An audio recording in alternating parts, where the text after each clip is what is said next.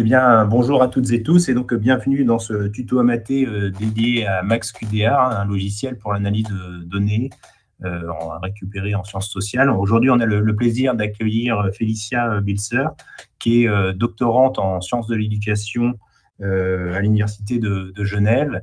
Et donc, ben, on est ravis de, de t'accueillir, Félicia, et puis on te remercie d'avoir accepté notre invitation pour présenter MaxQDA.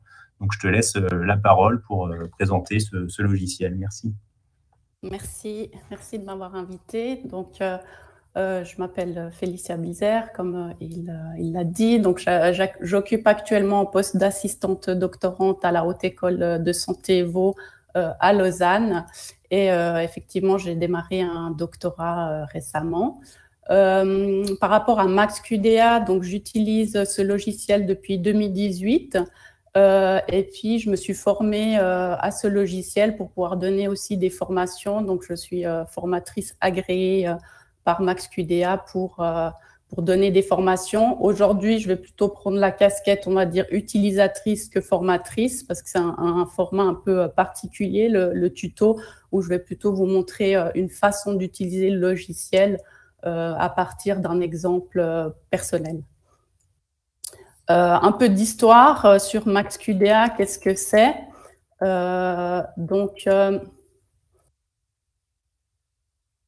pardon, je voulais juste avancer la diapo, je n'étais pas sur la bonne flèche. Voilà. donc, le logiciel, il est développé par Verbi Software à Berlin. il date de 1980 et il a été développé par le professeur Udo Kukart. Euh, c'est un des logiciels leaders en matière d'analyse qualitative. Euh, c'est un des logiciels qu'on appelle communément des CAC-DAS, Computer Assisted Qualitative Data Analysis Software. Et vous connaissez surtout, sûrement des équivalents comme euh, NVivo, Atlas TI, etc. la particularité de Max QDA, c'est qu'il est vraiment utilisé dans le monde entier, dans plus de 150 pays, il offre vraiment une variété de, langues aussi d'utilisation. Euh, qu'est-ce que c'est un CACDAS? Donc, euh, c'est un logiciel qui permet de travailler sur des données euh, qualitatives et de faire des analyses de, données. Donc, il, il, permet de travailler sur des transcriptions, des articles, des documents, toute une variété en fait de données euh, de faire des analyses, que ce soit euh, des analyses de contenu, études de cas, euh, analyser des groupes de discussion, faire la théorisation ancrée, etc. Donc c'est vraiment la spécificité, c'est qu'il n'est pas limité à une méthode ou à un type de données. C'est ce qui rend aussi des fois les formations qui, compliqué, c'est que ben, finalement, on utilise tous des méthodes et des approches différentes. Donc, euh, l'idée, c'est aussi de pouvoir vous montrer euh, des, étapes, enfin, pas, pas, des étapes, mais plutôt des activités analytiques euh, supportées par le logiciel plutôt que de vous démontrer comment l'utiliser, par exemple, en adoptant une théorisation ancrée ou une étude de cas. Pourquoi utiliser un tel logiciel? Euh, il y a des multiples avantages. Le logiciel, il permet d'organiser les données, euh, de faire aussi des transcriptions si on le souhaite. Donc, il y a un module qui permet de transcrire directement dans le logiciel. Il permet d'analyser, donc il a des outils très puissants pour faire des liens entre les différentes données, euh, de rechercher facilement des informations, des codes, des segments codés, etc. Et euh, il permet aussi de présenter des, résultats. Donc, il y a aussi des outils de visualisation qui peuvent être euh, puissants, que ce soit pour présenter les résultats, aussi pour euh, plus dans une phase d'interprétation où on va utiliser ces outils plutôt dans une étape de réflexion sur nos données, etc.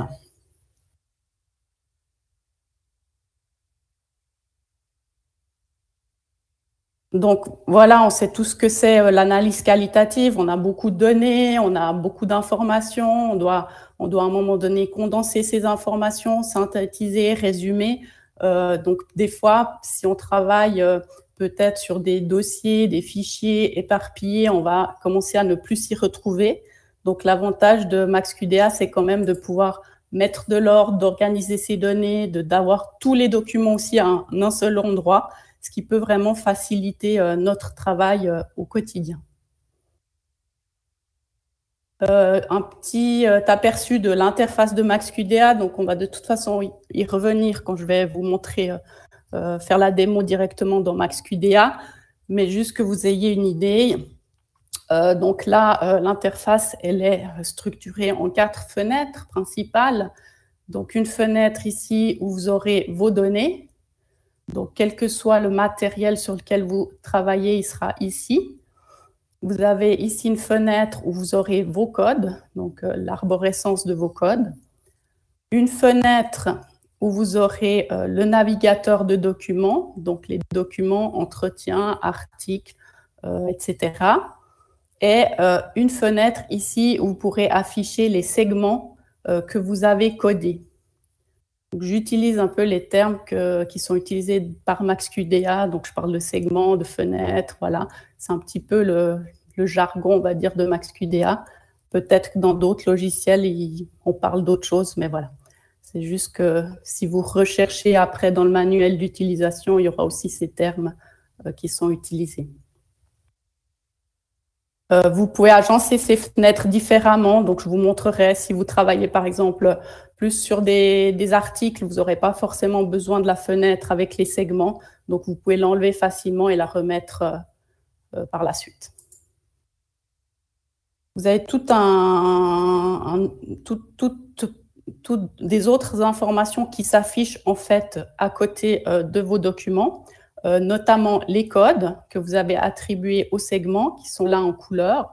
Donc les couleurs, ce sera les couleurs que vous avez attribuées à vos codes. Euh, vous avez euh, des mémos.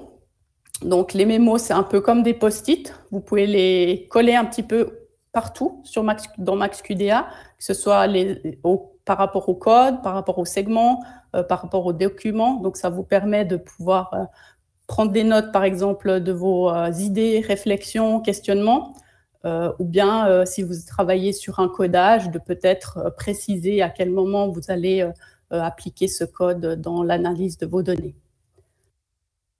Et ensuite, dans la fenêtre des segments, vous aurez toujours la source du segment et vous pouvez toujours, avec, dans MaxQDA, revenir en fait à la donnée euh, brute, si on veut bien. Donc, euh, à partir du segment, on peut revenir sur la donnée. Euh, à partir d'un résumé qu'on aurait rédigé, on peut revenir sur le texte qui a été résumé, etc. Donc, ça, ça garde, MaxQDA garde vraiment les liens. Et ça, c'est vraiment précieux. Donc, un aperçu bref des différents outils de visualisation. On ne va pas rentrer trop dans les détails. Euh, mais hum, vous avez euh, le portrait de document qui est basé sur euh, la couleur des codes auxquels que vous avez attribué à votre document. Le navigateur de la matrice des codes où vous pouvez aussi visualiser les, les, codes par rapport à vos documents. une carte conceptuelle euh, la carte euh, des codes et des documents, euh, le nuage des mots et un diagramme de comparaison de documents. Je ne vais pas détailler tous ces outils parce que ben voilà, ça prendrait trop de temps, mais sachez qu'il y a différents outils de visualisation qui peuvent être utilisés.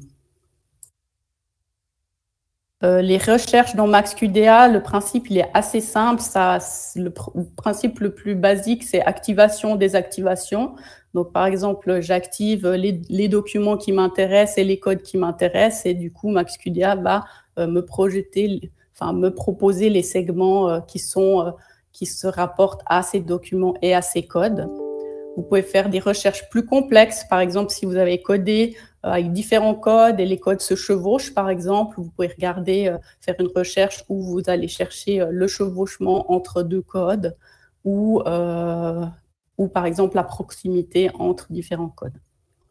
Et euh, troisième type de recherche que vous pouvez effectuer, c'est la recherche lexicale, la recherche de mots ou de combinaisons de mots dans les documents. Et ça, ça peut être euh, très utile au départ, par exemple, euh, quand on défriche un, terrain, un nouveau champ, de pouvoir rechercher des mots-clés dans nos documents et puis de voir bah, qui c'est qui a parlé de tel ou tel concept. Ou aussi dans des entretiens, d'avoir une première idée un petit peu de qu'est-ce qui a été dit. Et euh, MaxQDA permet aussi d'exporter de publier euh, les différents éléments de votre projet. Ça peut être euh, aussi une fonction utile quand vous travaillez à plusieurs et qu'à un moment donné, vous aimeriez plutôt travailler sur du papier, d'avoir quelque chose de, concret. vous pouvez exporter, par exemple, l'arborescence de vos codes, vos mémos. voilà, vous pouvez exporter différents éléments de votre projet et euh, en format, dans différents formats, Word, PDF, etc. Euh, Excel pour ce qui est des, tableaux euh, où vous avez vos segments codés, par exemple. Ça permet de travailler encore d'une autre manière.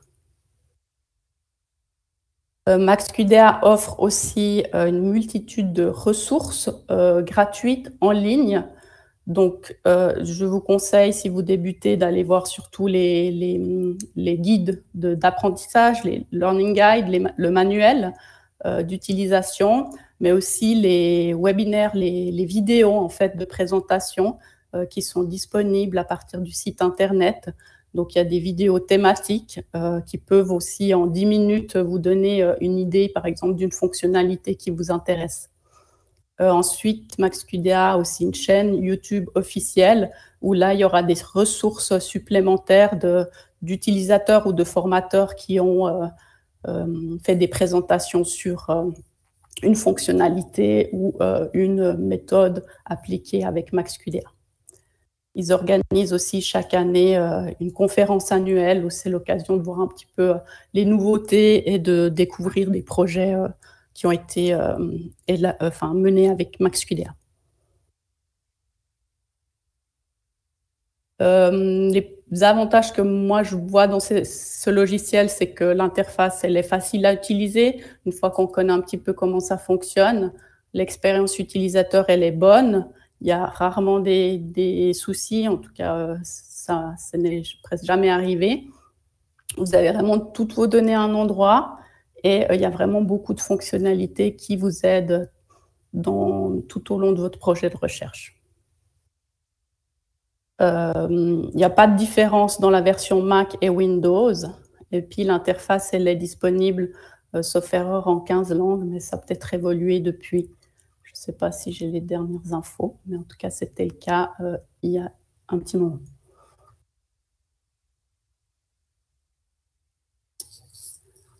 Euh, il y a aussi des applications gratuites.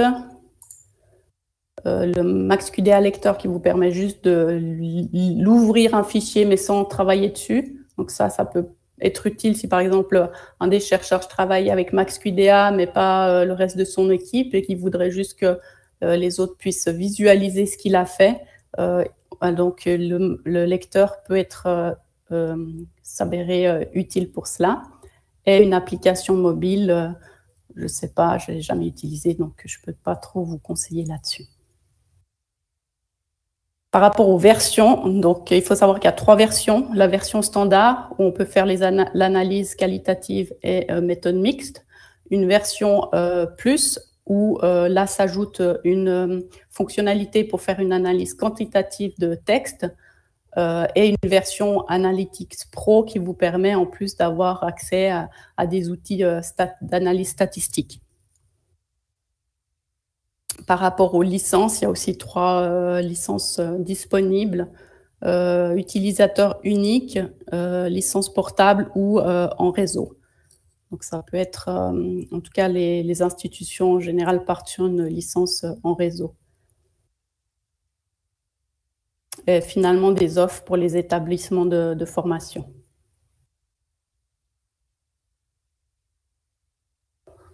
Donc, je vais euh, rentrer plus dans la démonstration euh, du logiciel. Euh, peut-être, oui, je vous parlerai après. Donc, je vais illustrer euh, euh, différentes fonctionnalités euh, de MaxQDA après dans, le logiciel. Peut-être juste en introduction, ben voilà, comme je l'ai dit avant, les recherches qualitatives et mix sont un champ varié et flexible. On travaille sur des données différentes, avec des méthodes d'analyse différentes. Et peut-être qu'au-delà de cette diversité, ça peut être intéressant de réfléchir en termes d'activité analytique plutôt qu'en termes d'approche.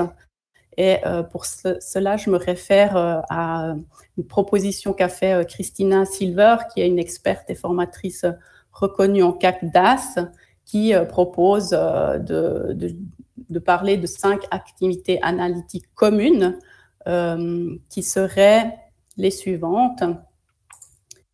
L'intégration, qui consisterait ben, combiner des parties en un tout, que ce soit le matériel, les analyses ou les contributions d'organiser les données, donc créer une structure qui réponde aux objectifs euh, de la recherche. Euh, on organise autant euh, des faits, des métadonnées que des idées, d'explorer, qui consiste ben, à examiner la nature des données, que ce soit au niveau de leur contenu. Donc, on peut d'abord identifier le langage, le vocabulaire, etc., se familiariser avec les données, ou de leur structure, euh, si on parle d'entretien semi-directif, on va parler peut-être euh, de structure en fonction des thématiques qui ont été abordées euh, dans tous les entretiens. Et on va voir après comment Max QDA nous, aide en fait dans ces différentes activités. Ensuite, réfléchir, c'est peut-être le, noyau dur de notre, activité de chercheur. Donc, considérer attentivement et en profondeur nos données, écrire autant sur les données, mais aussi sur les processus, sur nos interprétations et les résultats. Et pour ça, on peut créer des, cartes pour faire des connexions, des liens, etc. Et ensuite, interroger euh, nos données euh, et nos résultats. On va, euh, on va identifier des patterns, des relations, des différences, des anomalies, etc.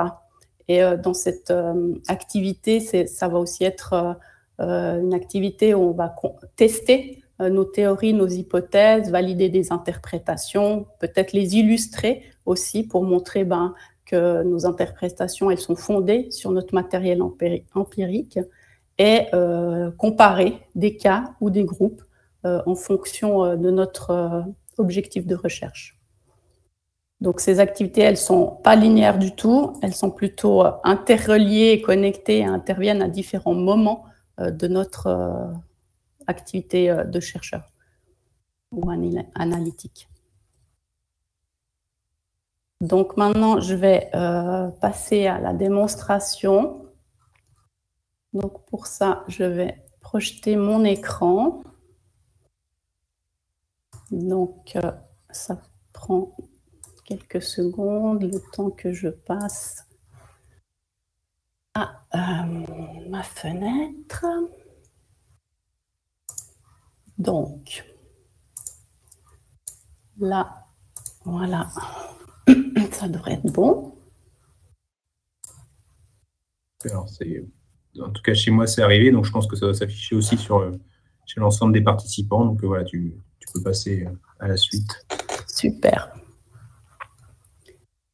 Voilà. Euh, d'ores et déjà, désolé pour euh, la taille d'affichage, mais on a testé, c'est pas possible d'agrandir en fait euh, l'interface pour que vous voyez mieux en fait. Donc désolé, mais après c'est pas vraiment le contenu qui est important, mais plus les, opérations. Et puis donc du coup, je vais essayer de vous expliquer ça de manière à ce que ce soit compréhensible pour vous. Donc peut-être que une des premières étape dans un projet. Ici, c'est un projet où j'ai fait une, première revue de littérature. Donc, j'ai travaillé sur des articles. Euh, et puis, euh, mon objectif, c'était d'identifier ben, euh, le contenu des articles, de voir dans quel champ les, les, différents sujets ont été abordés, de quelle manière les différents auteurs ont abordé tel ou tel concept. Donc, j'ai décidé de travailler avec MaxQDA. Donc, MaxQDA permet d'importer des PDF, donc des articles que vous auriez en PDF. Pour cela, euh, vous voyez dans le menu importer, vous avez différentes euh, possibilités d'import en fonction de euh, vos données. Donc là, en l'occurrence, si on veut importer des PDF, on ira sur cet onglet. si vous décidez de faire une revue de littérature avec MaxQDA, vous pouvez aussi travailler à partir de l'import du gestionnaire de référence bibliographique qui vous permet d'importer en fait euh, des RIS euh, de EndNote, Mendeley, Zotero, Citavi, euh, afin d'avoir en fait les métadonnées directement dans MaxQDA. par exemple, ici, ça c'est un exemple de métadonnées qui a été importé. Donc, vous voyez que vous avez le titre, l'auteur, la date, notamment.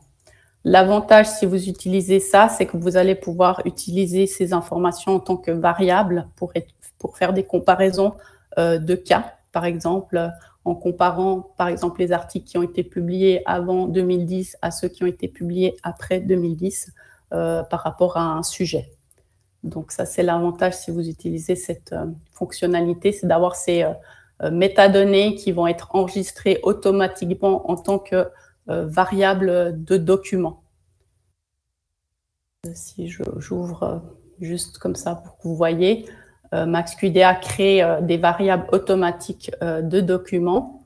Et par exemple, RIS, year, apparaît ici comme variable. Donc, si vous avez tous les RIS de tous vos documents, ça vous donnera la variable date sur laquelle vous pourrez travailler, par exemple. Donc, euh, revenons à l'import. Donc, l'import, euh, c'est très facile. Ben, soit vous cliquez là, euh, vous importez votre document. Voilà, il arrive automatiquement là où vous étiez. Ou vous pouvez aussi tout simplement drag and drop depuis votre, votre bureau, par exemple, le document. Donc, vous allez sur votre bureau et vous glissez votre document dans MaxQDA. Il va être importé. Euh, donc ça, c'est simple. Euh, ensuite, euh, il y a aussi une possibilité que j'ai trouvée intéressante et que j'ai découverte récemment, c'est de créer un dossier d'import automatique. là, il faut aller dans le menu préférences ici à droite, la petite roue. et puis, quand vous allez dedans, il, il vous propose euh, ici, voilà, plutôt en haut dans la, barre euh, orange là, de euh, créer un dossier d'import automatique. Donc l'avantage, je ne vais pas le faire là, mais l'avantage c'est que ça, vous allez créer un dossier, sur votre ordinateur dans, quand vous déposerez des documents dans ce dossier, MaxQDA va les détecter quand vous l'ouvrez et vous proposer d'importer automatiquement euh, les fichiers qui s'y trouvent. Donc ça peut être euh, une façon de travailler aussi qui peut être euh, utile. Ça facilite peut-être le, travail au lieu d'avoir à chaque fois besoin de, venir ici pour importer ou de drag and drop vos documents. Donc, euh, pendant l'intégration de vos données, vous allez peut-être déjà réfléchir à une certaine euh, euh, structure, de quel type de données il s'agit, et puis vouloir créer ici une, forme de, de structure. pour cela, MaxQDA vous permet de créer des dossiers, des groupes de documents. Donc là, vous pouvez créer un groupe de documents pour vos entretiens, par exemple.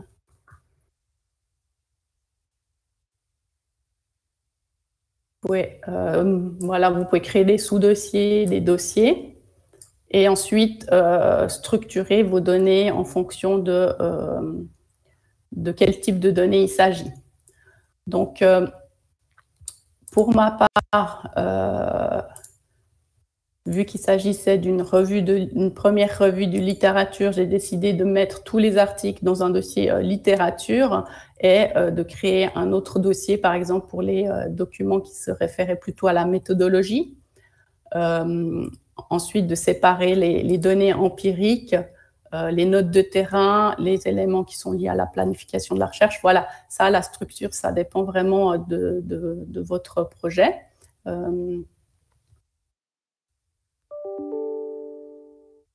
Là, vous pouvez, comme je vous ai dit avant, euh, attribuer des mémos. Donc là, euh, c'est très simple. Vous allez ici, vous faites un clic euh, droite sur la souris, vous faites mémo.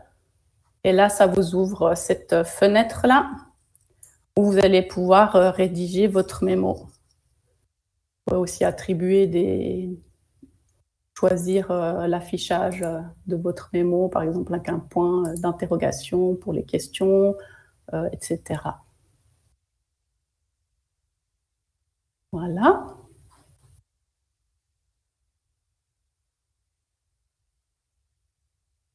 Euh, ensuite, euh, une deuxième façon de, d'organiser euh, vos données, ce sera de travailler avec les ensembles. Donc les ensembles, c'est ce qui se trouve ici. Donc vous pouvez aussi créer de nouveaux ensembles.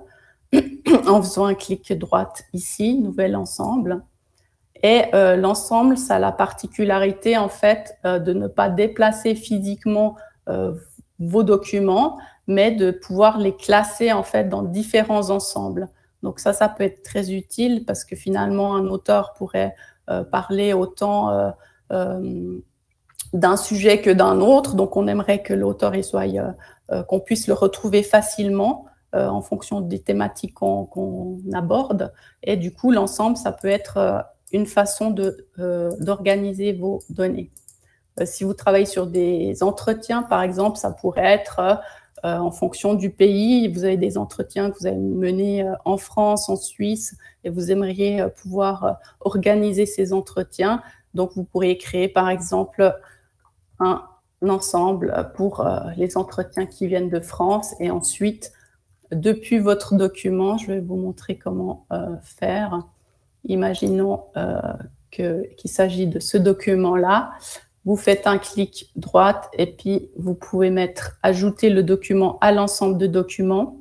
Et là, vous allez avoir tous les ensembles de documents et vous pourrez l'ajouter à un ensemble, par exemple. Donc, vous pouvez le rajouter à différents ensembles, comme je vous ai dit avant. Voilà.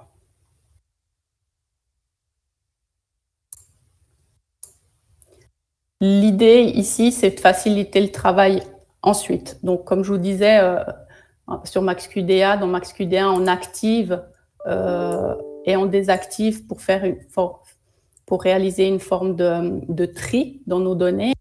Donc, par exemple, si je m'intéresse euh, là aux articles qui ont été publiés en sciences infirmières par rapport à la thématique euh, de l'engagement des patients. Je vais activer le code qui m'intéresse, euh, l'ensemble de documents qui m'intéressent. Et ensuite, je vais pouvoir euh, visualiser. Là, il faut que je change la vue pour que vous ayez les segments qui s'affichent, les segments qui se rapportent à ces documents et à ces codes ici.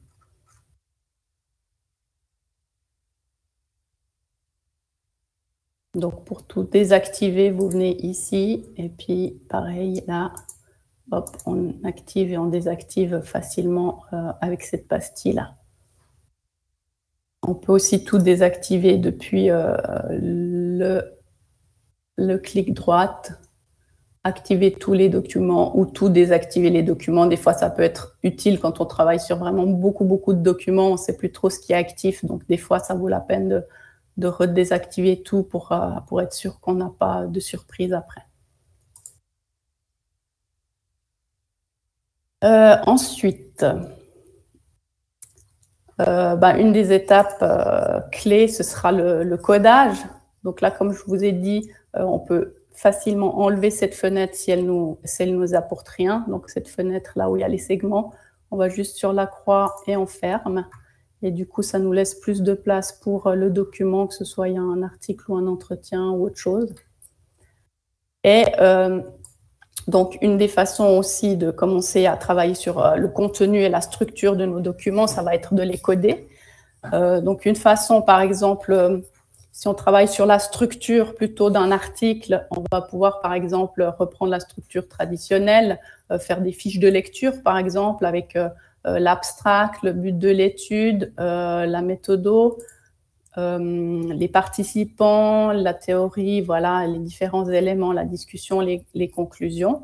donc ça, ça permet de, de, capturer en fait la structure de nos documents euh, pareil pour les entretiens, ça va être peut-être les, thématiques que vous avez abordées dans tous les entretiens. Donc, on va pouvoir ici, avec les codes, euh, capturer ces éléments-là. Euh, pour coder, c'est très simple. Donc, vous allez sur l'extrait que vous avez, le segment que vous souhaitez coder. Vous le surlignez en faisant un clic droite sur la souris. Et ensuite, vous pouvez glisser en fait le code sur le segment. Donc là, vous voyez euh, la couleur du code et le code qui va s'afficher à côté du document. Pour supprimer, c'est aussi très facile. On fait un clic euh, droite et on va sur supprimer. Il demande à chaque fois si vous voulez supprimer ou non pour pas qu'il y ait de mauvaises surprises et euh, vous supprimez. Imaginons que vous avez codé cet élément-là dans l'abstract et que vous souhaitez euh, réduire, par exemple, euh, le segment, donc ça c'est assez facile, vous venez, vous glissez comme ça, et puis euh, vous lâchez, et normalement, voilà, non? Voilà, voilà. Vous lâchez, et vous, vous propose d'ajuster le segment. Donc ça vous permet de revoir si vous voulez réduire ou agrandir un petit peu l'unité d'analyse. Voilà. Euh, pour créer un code à partir euh, du texte, vous avez différentes options. Donc, vous pouvez créer un code ici, coder avec un nouveau code.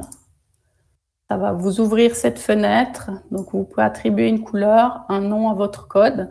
Vous pouvez directement aussi lui hum, rédiger un mémo pour le code si vous savez d'ores et déjà euh, donc, à quel moment vous voulez euh, utiliser ce code et qu'est-ce qu'il inclut ou exclut.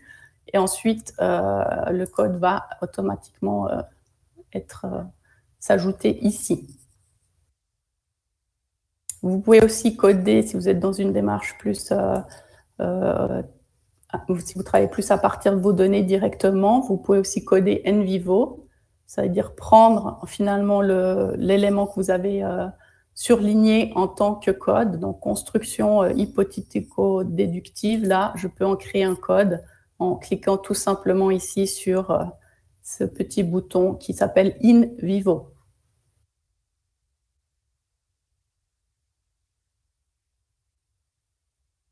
à un moment donné, vous voudrez peut-être euh, restructurer un peu votre arborescence de code ou lui donner une structure un petit peu aussi en fonction de catégories. Euh, donc, l'idée, c'est de travailler avec des codes. Donc, par exemple, si euh, ici, j'ai créé un, code fiche de lecture, euh, c'est plus un code, une catégorie générale avec lequel je ne vais pas coder, en fait. Mais ça me donne juste une indication comme quoi les codes en dessous, ils, font partie de mon travail de structure, structuration de, contenu. Et pareil pour, euh, par exemple, des analyses plus au niveau du contenu. Euh, vous pourriez créer euh, des codes pour avoir plus une structure. Par exemple, un, code, une catégorie. typiquement, là, créé aussi un code qui s'appelle engagement des patients dans la formation en santé. normalement, je ne vais pas coder avec ce code. Je pourrais, mais ce n'est pas le but. Mais c'est plus pour donner une structure aussi ici à mon arborescence de code. Euh, donc voilà, vous pouvez créer aussi des codes directement à partir de ce menu ici en, allant sur le petit euh, plus.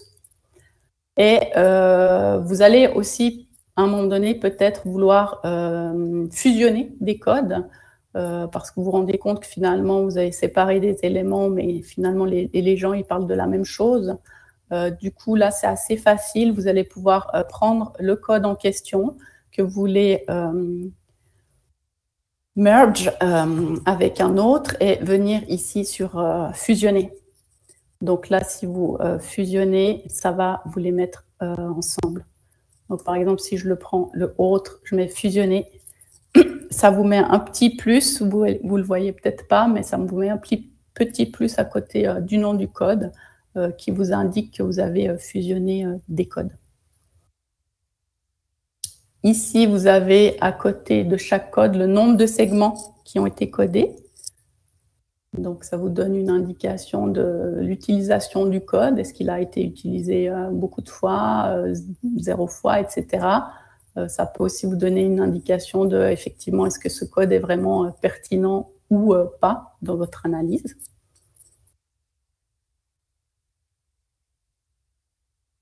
J'ai parlé des mémos, oui. Donc, j'ai parlé des codages. Voilà.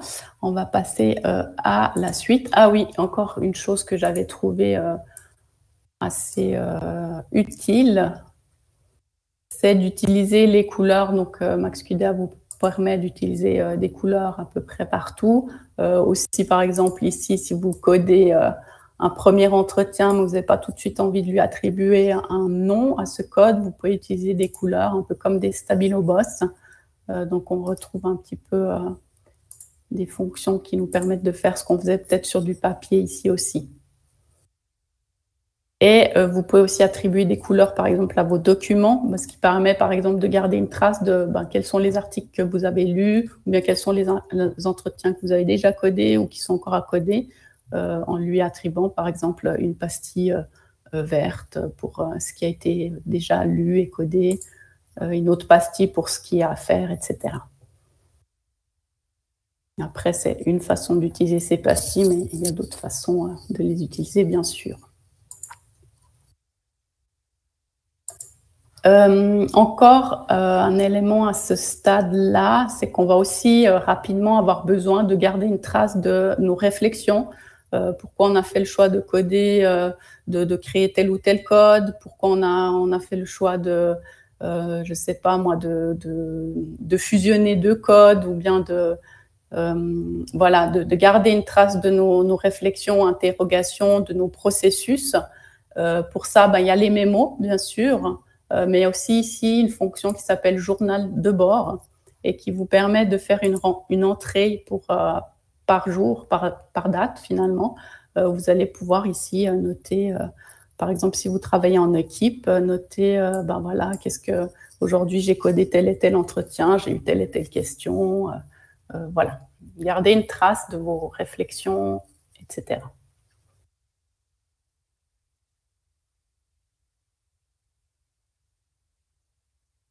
Ensuite, on va vouloir, euh, on va pouvoir aussi à un moment donné analyser euh, nos données, euh, différentes fonctions qui peuvent s'avérer utiles.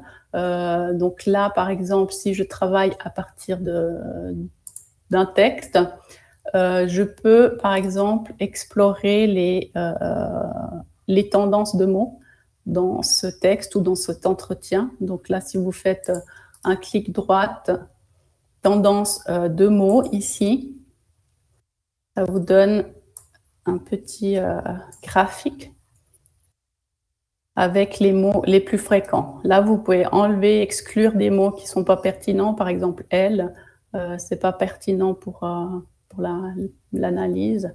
Donc, vous l'enlevez et puis voilà. ça peut être utile peut-être à un stade d'exploration de, de, de vos données euh, pour avoir une première idée de quel peut-être quel code pourrait être intéressant pour euh, réduire, condenser vos, informations. Euh, voilà, c'est une possibilité. Ensuite, je vous ai parlé avant de recherche, différentes méthodes de recherche. Donc, la recherche lexicale, je voulais vous montrer ça parce que ça m'a vraiment été utile.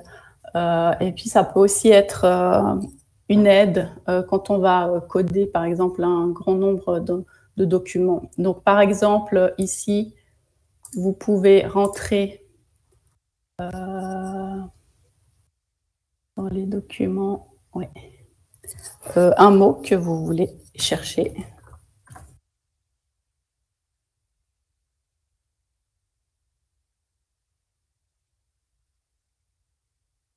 Et choisir si vous voulez rechercher dans les documents, dans les mémos, commentaires ou paraphrases. Donc les documents, c'est articles, entretiens, etc.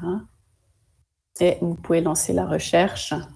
Et donc, vous allez avoir une fenêtre comme ça qui s'ouvre avec toutes les occurrences euh, de ce mot dans vos documents.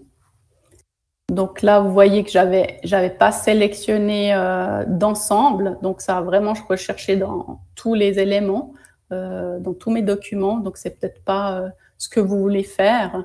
peut-être vous voulez plutôt rechercher que dans la littérature. Donc ça peut s'avérer utile ici d'activer, par exemple, que les articles que vous avez euh, repérés euh, comme, comme pertinents pour euh, ce concept. Donc, vous l'activez là, par exemple, dans l'ensemble de documents et vous réeffectuez la recherche. Normalement, ça devrait marcher. Voilà. Quand c'est activé, il va rechercher que dans les documents activés. Donc ici, dès que quand vous cliquez euh, sur euh, les résultats, vous allez directement avoir accès à la source. Donc par exemple ici, c'est effectivement euh, l'article de Cartron 2021 et il a trouvé l'occurrence savoir expérientiel. Ensuite, si je clique là, il va passer au suivant. Donc, vous allez facilement pouvoir, euh, par exemple, explorer ces extraits et puis réfléchir, OK, est-ce que je veux le coder ou pas euh, avec le code conceptuel, par exemple, en lien avec les savoirs expérientiels. Vous pouvez aussi coder, coder automatiquement tous les résultats de recherche. donc là, il faut être un peu prudent parce que justement, des fois, ce n'est pas pertinent parce qu'il va sélectionner les notes de bas de page ou bien le titre. Donc, ça peut être utile de parcourir quand même les, segments qui ont été euh, les occurrences là, et puis de les exclure quand ils ne sont pas pertinents. Par exemple, là, c'est une référence. Euh, je peux ici cliquer une fois dessus et ça me met cette, euh, icône-là qui me dit qu'il ne va pas le coder. Il peut. ici, vous pouvez aussi voir ben, combien il y a de références qui ont été trouvées. Donc là, il y en a 223. Donc voilà, revoir tout ça, ça peut prendre du temps, mais quand on est euh, dans une phase de toute façon d'exploration, on doit aussi se familiariser avec euh, euh, nos, données, le contenu. Donc ça peut être une première façon aussi de travailler de manière un peu structurée, on va dire. Donc si vous voulez tout coder, vous allez ici coder résultat de recherche avec un nouveau code et puis vous pouvez lui donner un, un code, un nom. Vous pouvez aussi extraire, par exemple, ce résultat dans un format PDF. Euh, voilà, bah là vous voyez les informations, euh, nom du document, le terme, et je crois qu'il n'y a rien d'autre qui est vraiment utile. oui, je voulais vous montrer encore ici, vous avez un petit rond avec un i. si vous allez dessus, ça va vous ouvrir euh, l'aide qui se rapporte à euh, cette fonctionnalité sur euh. Donc tout d'un coup, vous êtes, vous savez plus trop comment travailler, enfin à quoi c'est utile ou comment faire. Donc vous pouvez aller sur ce petit i et puis normalement vous allez avoir des ressources à disposition. Ça peut être pratique, on va dire.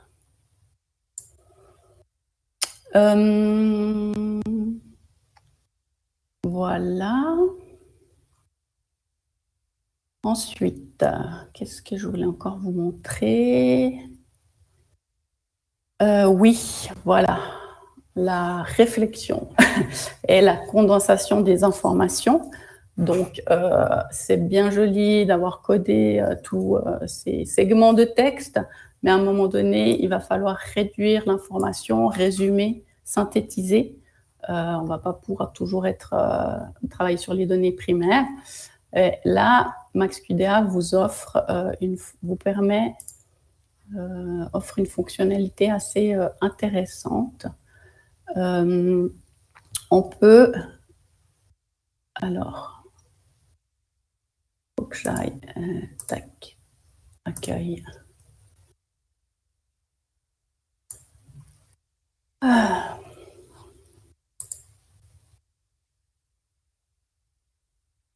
Voilà. Allez dans grille euh, des sommaires.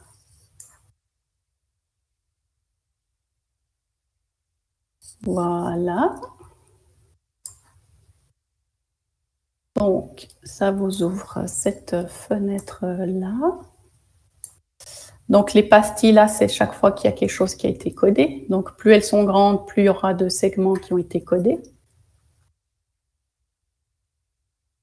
Et là, les pastilles vertes, c'est euh, les segments où il y a déjà un résumé, en fait. Donc là, si je vais là, je sais que j'ai déjà écrit un résumé sur euh, ce segment. Donc ça, ça s'affiche comme ça. Par exemple, si je vais ici sur ce segment-là qui n'a pas encore été euh, résumé, je vois directement le segment ici, donc euh, la source d'origine, et puis je peux euh, rédiger ici mon résumé de ce segment. L'avantage, c'est qu'après, vous allez pouvoir travailler plus qu'à partir des résumés, par exemple, donc à partir des sommaires, d'avoir un explorateur, d'aller dans l'explorateur des sommaires, insérer les documents activés, glisser. Donc là, si je vais dans l'explorateur des sommaires, je peux choisir les codes qui m'intéressent. Euh, ah, qu'est-ce que je vais mettre là? Euh, Je vais plutôt... Hmm. Là, par exemple,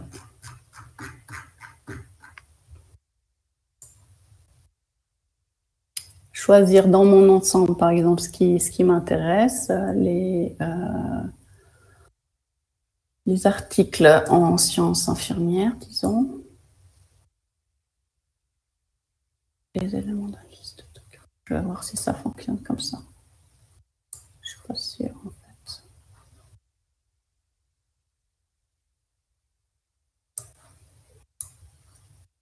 On va voir. Voilà. Ouais, non, on ne peut pas travailler à partir de l'ensemble des documents. Il faut vraiment partir des documents.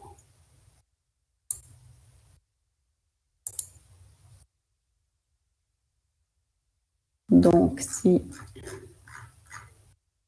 j'active euh, les documents qui m'intéressent, euh, là, tac, par exemple, et les codes qui m'intéressent. Voilà. Et je vais dans l'explorateur des sommaires, insérer euh, les documents activés, euh, ici, insérer les codes activés, OK. Et Bon, là, il n'y a pas, vous n'allez pas voir euh, vraiment ce que ça donne parce pas, euh, je n'ai pas fait beaucoup de résumés dans ce document d'exemple, mais euh, si vous avez fait ici des sommaires, vous allez les voir apparaître ici, côte à côte pour tous vos documents. Donc, ça pourrait être ben, des entretiens, les sommaires que vous avez fait, les résumés que vous avez fait de, de, ce que vos participants ont dit. Et du coup, là, au lieu d'avoir vos articles, ici, euh, vous auriez euh, participants 1, 2, 3, 4. Ça vous permet d'avoir une vue d'ensemble assez rapide de, du contenu de ce que les participants ont dit. Donc, on sera vraiment dans un processus aussi d'abstraction ici de nos données. Voilà pour le sommaire et les résumés. Et euh, je voulais euh, encore vous montrer quelque chose. Ah oui, dans les outils euh, de visualisation, les outils de visualisation ici, Donc là, vous avez tous les outils qui s'affichent. et je voulais vous montrer la carte Max Maps.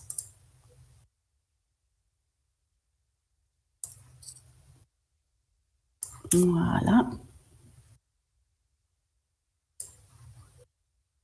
Donc, vous pouvez choisir de créer euh, une nouvelle carte pour euh, une visualisation. Et là, vous allez pouvoir utiliser euh, des modèles, par exemple, qui vous proposent donc un seul cas, segment codé, mais aussi euh, distribution des codes, co-occurrence, etc. Donc il y a vraiment des différents modèles de, visualisation ici. Mais là, je voulais juste vous illustrer celui-ci, euh, modèle un seul cas, segment codé. Et là, donc, vous allez pouvoir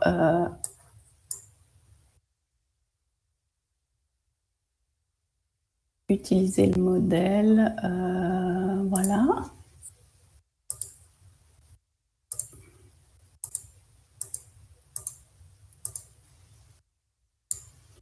Ah, je vais vous montrer celui-là, par exemple. C'est un modèle, justement, euh, un seul cas avec euh, les, sommaires, donc les, résumés. Donc, vous avez le code au centre et puis à côté, vous allez euh, ici avoir tous les résumés que vous avez faits par rapport à ce code. Donc ça, ça peut être une visualisation assez utile à un moment donné pour visualiser voilà, les éléments qui se rapportent à ce code-là. Et euh, vous pouvez directement envoyer ça à euh, la fiche euh, question, thème, théorie. Donc, je vais vous le montrer juste après. Voilà. Et donc, je vais vous montrer justement cette fiche-là qui est dans Analyse.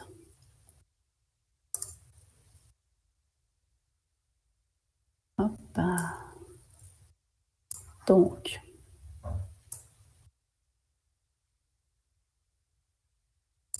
donc là, question euh, thème, théorie. Vous pouvez créer plusieurs fiches. Donc, imaginons que vous ayez plusieurs études, par exemple. Là, j'ai créé une fiche pour euh, une première étude qui s'appelle étude exploratoire.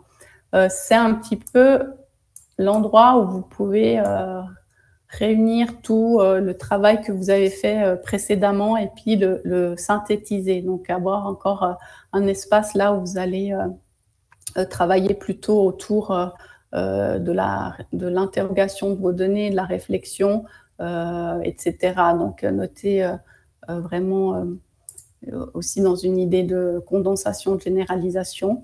vous allez pouvoir travailler ici. Donc, si vous créez une nouvelle fiche euh, c'est très simple. Donc, il y a une fenêtre qui s'ouvre. Vous allez pouvoir étude 1, euh, euh, lui donner un nom, les questions de recherche que vous posez.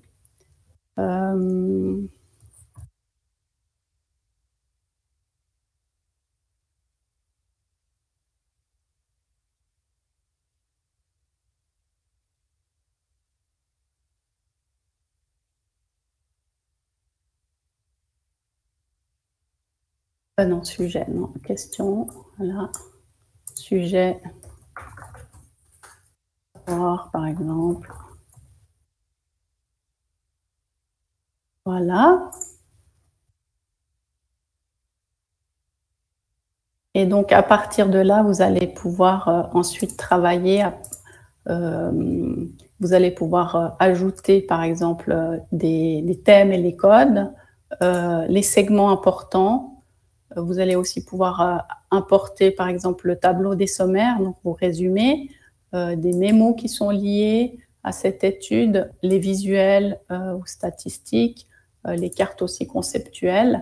Et à la fin, vous allez avoir ici cette fenêtre où vous allez pouvoir intégrer les idées. Ça veut dire que tous les éléments que vous aurez intégrés dans ces différents onglets vont aussi finalement les, les, résumés, les, vais vous montrer avec l'autre exemple, en fait, ce sera mieux. Ici. Donc là, vous avez vu que j'ai importé euh, des, codes. Et euh, on peut faire ici, euh, écrire nos idées par rapport à, ces éléments-là. Donc, faire un petit résumé. Ici, pareil avec les segments. Donc, j'ai importé les, segments ici qui m'intéressent par rapport à cette question de recherche. Et dessous, je pourrais aussi faire un résumé.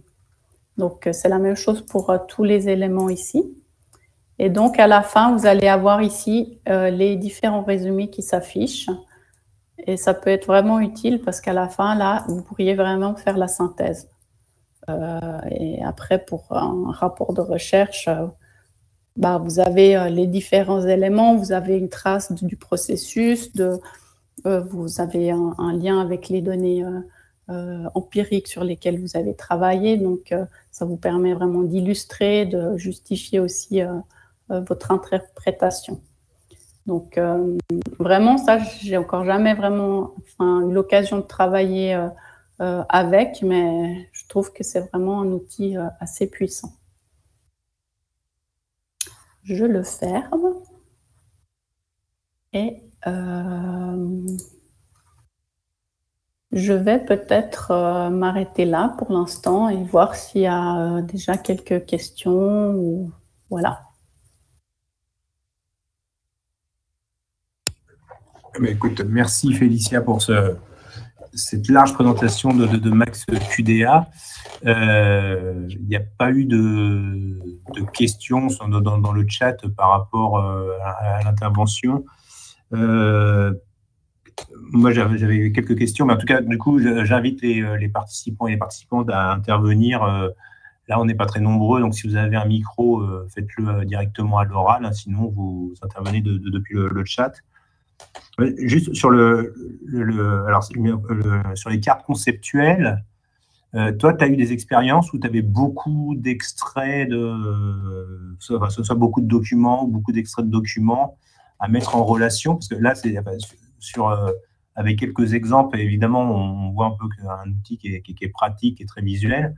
Et je me demandais ce qui se passait, c'est dès lors qu'on avait euh, beaucoup plus d'extraits ou de documents à mettre en relation avec le, avec le concept qu'on mettait en évidence là. Mm-hmm.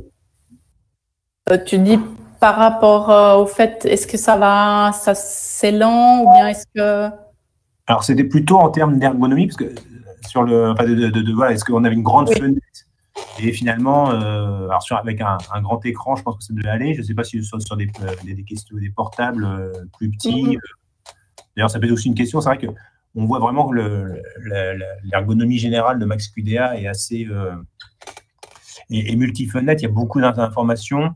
Euh, sur, sur un, petit écran, est-ce que c'est, on est très à l'aise pour travailler ou pas euh? Je pense que sur les fenêtres de base, oui. Après, c'est vrai que pour les outils de visualisation, comme tu dis, si on a beaucoup de, segments, qui se rapportent par exemple à un, concept ou beaucoup de résumés par rapport à un concept, euh, ce sera à nous ensuite de, mettre en...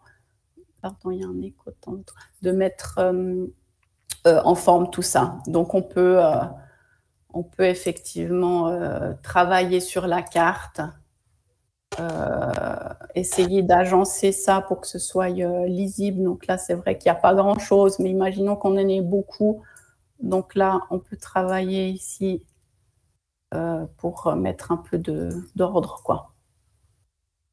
Mais c'est sûr que c'est plus agréable sur un, je pense, sur un grand écran.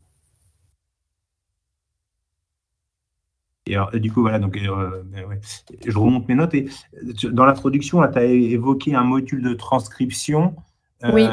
C'est la transcription automatique ou c'est euh, une interface qui facilite la, saisie du texte qu'on entend d'une bande audio? C'est plutôt ça, oui. donc,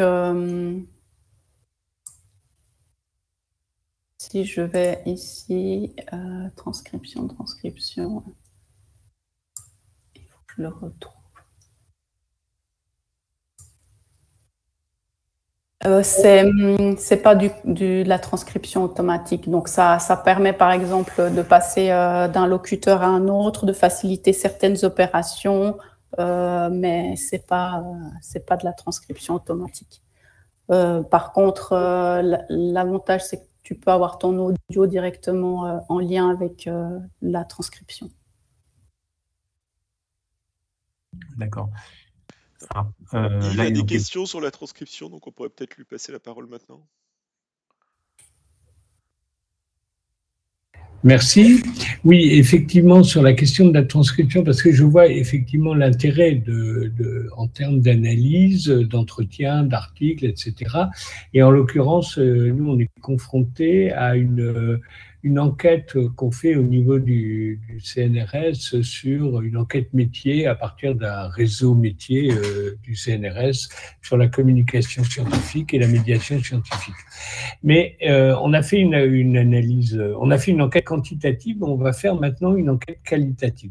Donc sur la base d'entretien, et on est intéressé euh, alors moi, je vois vraiment tout à fait l'intérêt par rapport à l'exploitation des entretiens individuels qu'on va pouvoir se faire selon les types d'entretiens, le type de personnes qu'on va interroger, etc. Et, le, voilà. Et, mais par contre, justement, euh, le problème des entretiens, c'est d'abord en amont la transcription. Alors là, je vous entendais dire, on ne fait pas de transcription automatique, hein, donc il n'y a pas de, véritablement de reconnaissance vocale, mais c'est plutôt une aide à la transcription. C'est ça que je perçois pas très, vraiment très bien. Et comment ensuite, à partir de ça, on peut l'exploiter dans le, avec les potentialités d'analyse de, de Maxda. Mhm. Oui, non, alors c'est effectivement, c'est pas MaxQDA permet pas de transcrire automatiquement, ça veut dire de reconnaître le, texte et puis de, rédiger à votre place. Donc c'est vous qui allez taper, euh, écouter et taper euh, la retranscription. Euh, par contre, il y a des facilités, on va dire, mais il y a d'autres outils qui le permettent aussi. Euh, c'est d'avoir, ben voilà, quand euh, normalement il reconnaît le changement de locuteur, donc euh, normalement ça facilite justement le, tour de parole. typiquement, on peut aussi enregistrer des raccourcis pour certains mots qui sont fréquents. Donc, quand on tape ce raccourci-là, le mot il va s'écrire et on n'aura pas besoin de le taper. je sais qu'il y a d'autres logiciels qui le permettent aussi. Donc voilà, je ne saurais je ne vais pas vous dire euh, c'est mieux de retranscrire directement dans MaxQDA ou pas. Euh, l'avantage, c'est que vous pouvez effectivement euh, travailler depuis MaxQDA directement à partir de votre audio. Donc, il y aura, il y aura une fenêtre qui va s'ouvrir où vous aurez la barre d'affichage de votre audio, donc l'avancement. Vous pourrez mettre en pause.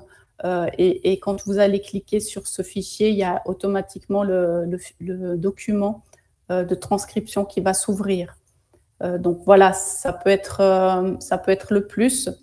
Et ensuite, une fois que vous avez votre, votre retranscription, en fait, elle, elle aura, ce sera un document qui sera ici, comme les, autres documents, un document qui va ressembler finalement à un document texte. Par exemple, ici, si je crée un document, euh, tout simplement. Vous allez voir, là, il n'y a rien, mais s'il y avait ma retranscription, euh, là, vous verriez euh, le texte de, ma, de votre retranscription. Et à partir de là, vous pouvez travailler comme sur les documents, les articles que j'ai montrés, ça veut dire coder, mettre des mémos, etc. Merci, merci beaucoup. C'est effectivement très utile. Juste pour mémoire, je me permets, on avait euh, fait une séance il y a très longtemps de Sonal, qui est un logiciel de retranscription d'entretien, mmh. d'aide à la retranscription d'entretien qui est gratuit, alors qui ne permettait pas les raccourcis de mémoire, mais qui en revanche avait une fonctionnalité, alors peut-être que tu as aussi, qui de s'arrêter automatiquement, par exemple, au bout de 5 secondes ou 10 secondes, donc, euh, on paramétrait au bout de combien de temps on veut que ça s'arrête et quand on veut relancer, il suffisait de mémoire de faire deux fois la barre d'espacement et ça repartait avec une demi-seconde de, décalage. Donc, comme ça, ça permettait de réentendre la fin du texte, etc. Mmh. Et c'est vrai que ça, ça fait gagner beaucoup de temps sur la retranscription. Comme mmh. moi, je l'ai utilisé, c'est vraiment des, fonctionnalités qui ont l'air idiotes, mais qui euh, font gagner un temps fou parce qu'on n'a pas, besoin de gérer le, on pas besoin de gérer l'audio, etc. Et en plus, il y avait un raccourci pour réécouter le petit morceau. Quoi. Donc, il y avait tout un mmh. ensemble. Donc, j'imagine que MaxQDA doit avoir des choses assez similaires. En tout cas, si les gens veulent faire que de la retranscription, il y a un logiciel gratuit euh, sur lequel on a fait un tuto qui est Sonal. Mais mmh sinon, euh, je pense que voilà, il y a plein de petits. Ça permet d'aller beaucoup plus vite euh, que, le, que le faire tout seul avec Word et, un logiciel à côté, quoi, des, des de son. Oui, indéniablement, oui.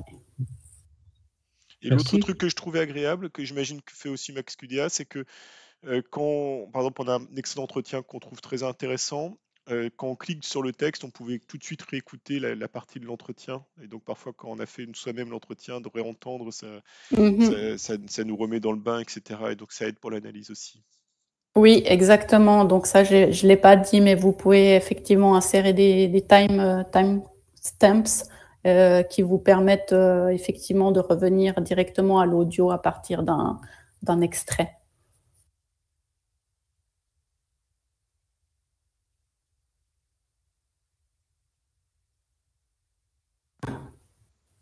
Alors, du coup, je vais, reposer une, question du chat sur l'analyse sur des images vidéo. Euh, alors, du coup, là, c'est, on est, euh, Félicia, tu es en tant que retour expérience utilisatrice. Est-ce que tu as eu des, expériences avec des images vidéo où tu as noté des, euh, je sais pas, des, séquences vidéo et comment ça se passe? Est-ce que tu peux nous en dire un, peu plus? Oui, oui, oui. Alors, oui, en fait, avec MaxQD, on peut travailler à part, vraiment sur toutes les données avec un, peu le même euh, fonctionnement. Donc, euh, vous pourrez euh, coder, on peut même coder des audios, donc on peut coder des audios, on peut coder des vidéos. donc, ce sera vraiment le même fonctionnement et, ça fonctionne très bien. donc, bah, c'est comme dans un logiciel, vous aurez l'avancement de votre vidéo et vous pourrez sélectionner une partie lui attribuer un code, par exemple. Euh, donc oui. Et pour les images, c'est pareil, en fait. On peut aussi travailler sur des images euh, et sélectionner une partie de l'image et la coder.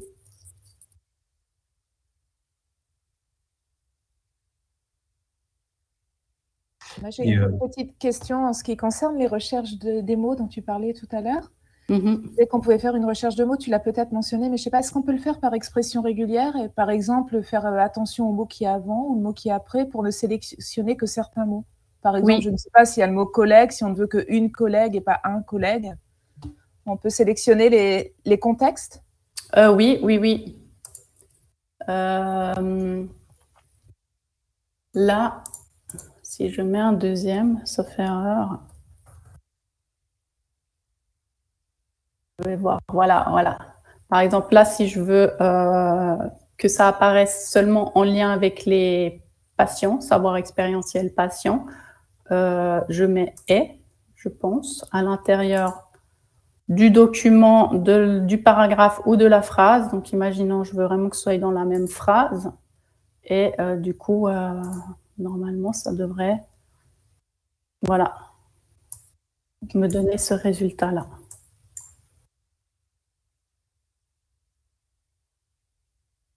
Après, euh, voilà, ça c'est l'outil de base. Et puis vraiment, par exemple, si vous prenez la version euh, MaxQDA euh, plus, là vous, avez, vous aurez accès à, par exemple, l'analyse de mots en contexte, donc toute une autre gamme d'analyse. Si vous travaillez vraiment sur ce type d'analyse, je pense que ça vaut la peine.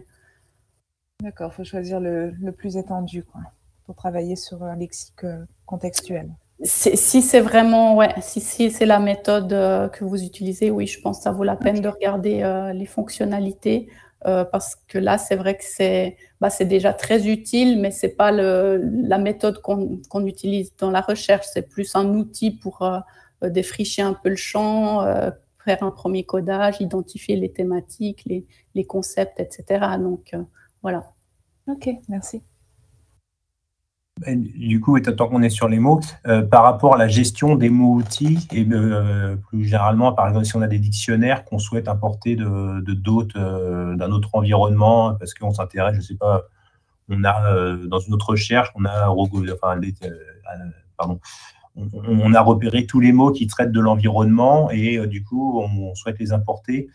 Euh, donc euh, voilà, ces questions sur les mots-outils, sur, sur, des catalogues de mots, des dictionnaires qu'on peut importer de l'extérieur, et puis de manière plus générale, un peu sur euh, MaxQDA et les autres. Alors, par rapport à NVivo, on voyait des fonctions NVivo, mais comment on peut rentrer des choses dans MaxQDA et comment on peut en, sortir des choses aussi un peu sur, sur les. Tu as parlé d'import-export aussi, là, de mm sortir de, de, MaxQDA. il y a plusieurs questions en une. Oui, oui, oui. Alors oui, tu peux importer des dictionnaires, des, des mots. Euh, J'ai plus en tête exactement où, mais euh, je sais que euh, c'est possible. Euh, et pour l'export, donc par exemple, si tu veux continuer à travailler, par exemple sur un autre format, sur un autre, sur un autre logiciel, c'est ça ta question? Parce que ici, tu auras ici l'onglet rapport. Et donc, tu peux choisir qu'est-ce que tu veux euh, exporter en fait. Est-ce que tu veux exporter ben, l'aperçu des segments codés? Donc, imaginons que tu veux exporter ça.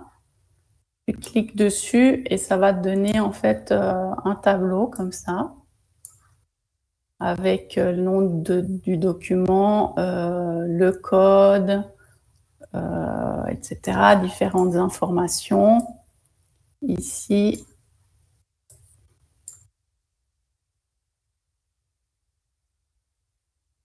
Voilà, prévisualisation.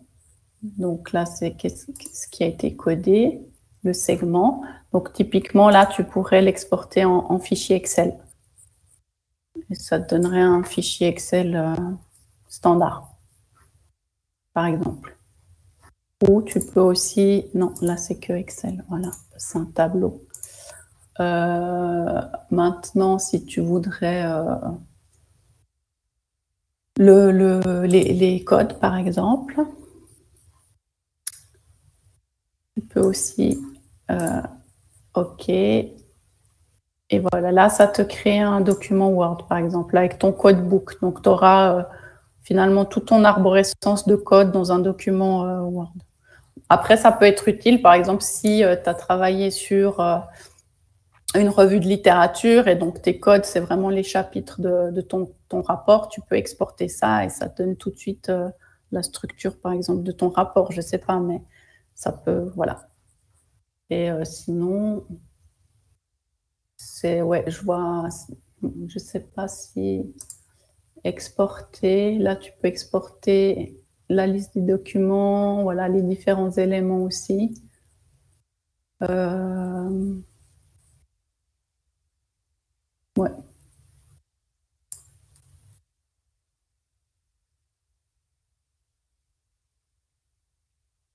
Après, il y a la possibilité d'exporter aussi euh, directement depuis la fenêtre, par exemple, euh, ici.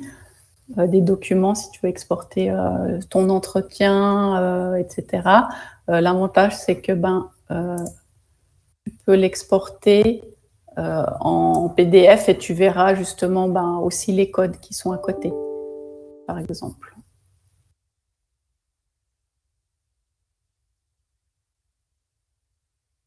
Alors là, je, lis une question dans, le chat, c'est euh, à quoi sert l'info taux de couverture? Alors, j'ai pas, euh, pas vu à quel moment ça apparaissait, mais du coup, c'est une question de Laurent. Euh, je pense que c'était dans. non, c'était pas là, c'était dans les aperçus des segments codés, je pense.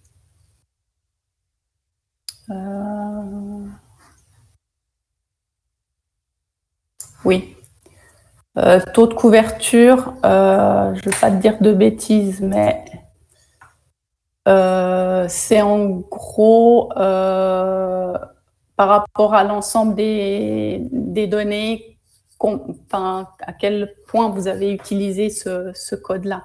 Enfin, c'est un peu une idée de, la répartition, on va dire, du codage, d'un code dans vos, documents.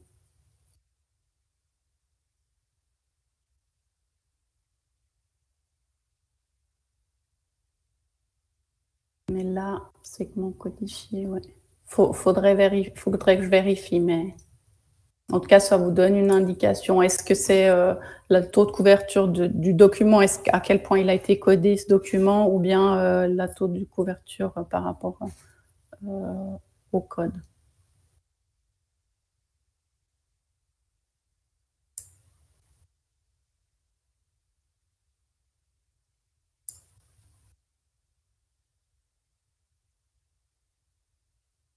Et alors, sur, sur les aspects euh, collaboratifs, donc on a bien vu, là, les, euh, alors il y avait un journal qui avait, euh, où on voyait bien, du coup, tu étais identifié en tant qu'utilisatrice, et du coup, dès que tu mettais des notes, tu, tu, tu vois, tu, journal de bord de, de, l'analyse. Est-ce que il y a, y a d'autres fonctions? Est-ce que c'est, en fait, l'aspect collaboratif se, se, présente que à travers ce, ce, ce journal de bord? Sachant qu'il y a peu de logiciels qui permettent vraiment des modes d'analyse collaborative euh, à la fois. Oui, c'est on pose toujours la question du travail collaboratif. Donc, euh, oui, effectivement, euh, ben, comme les autres logiciels, c'est single user, donc vous ne pouvez pas être à plusieurs à travailler en même temps sur un projet. Euh, donc, euh, il faut réfléchir en amont si vous travaillez en équipe de comment vous souhaitez euh, travailler avec MaxQDA.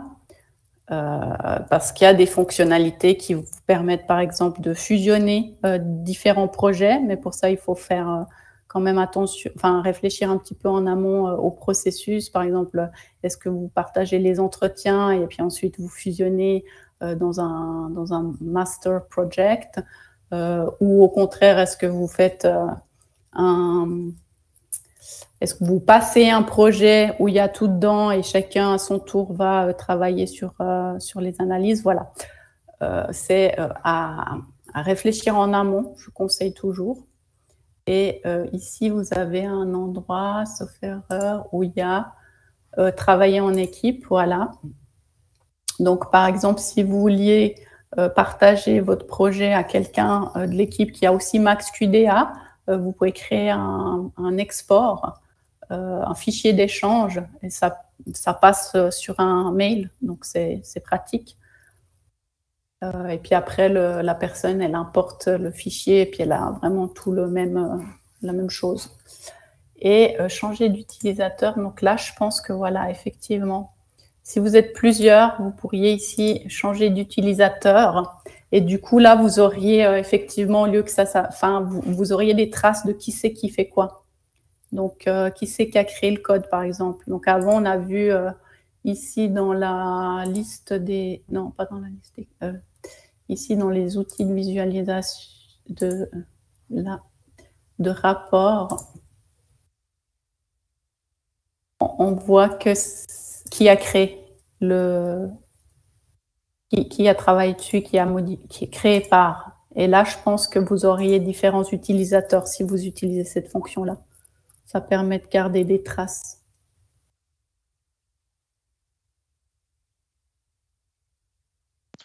Mais juste, je suis pas sûr d'avoir compris. Là, es dans le, tu serais dans le cas où en fait la base de données est stockée sur le serveur de ton laboratoire, hein, c'est ça?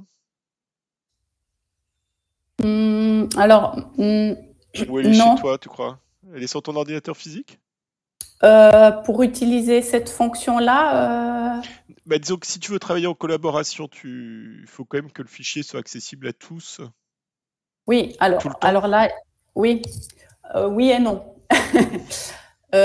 donc, je dirais non quand vous travaillez dessus parce que quand vous travaillez sur euh, le fichier MaxQDA qui est sur un réseau en ligne, euh, s'il y a une coupure de courant, ça peut endommager le fichier.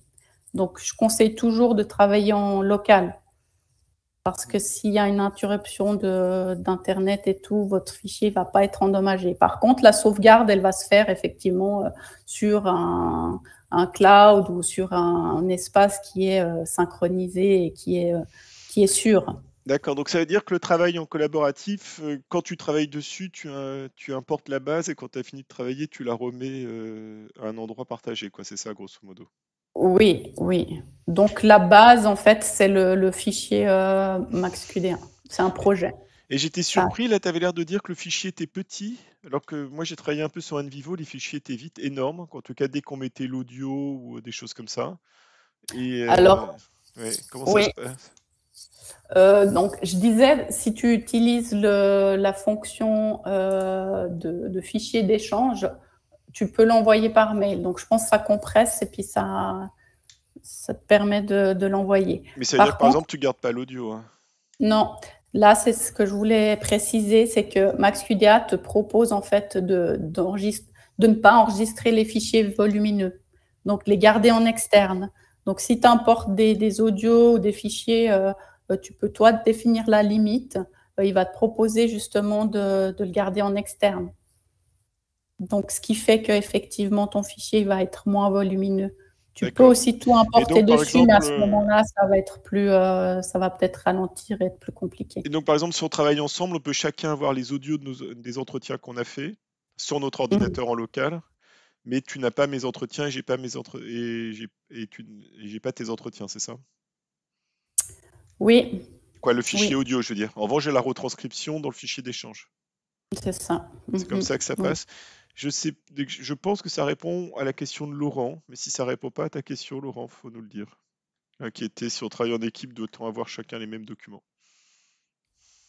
Donc oui et non, tout ce qui est dans MaxQDA, donc tout ce qui est euh, document euh, de moins, euh, je crois que c'est 5 mégabytes, sauf erreur, sera dans le document. Donc, euh, si tu le partages, euh, tu auras tout.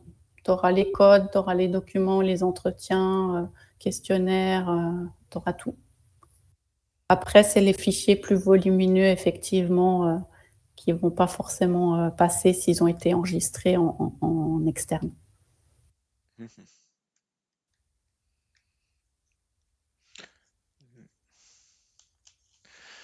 Et alors, en termes d'usage,